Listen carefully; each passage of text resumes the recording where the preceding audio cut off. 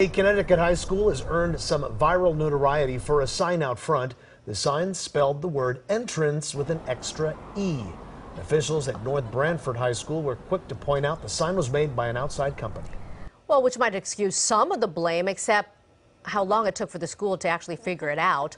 The sign's been welcoming people to the entrance since August. They need proofreaders there. They just don't have them.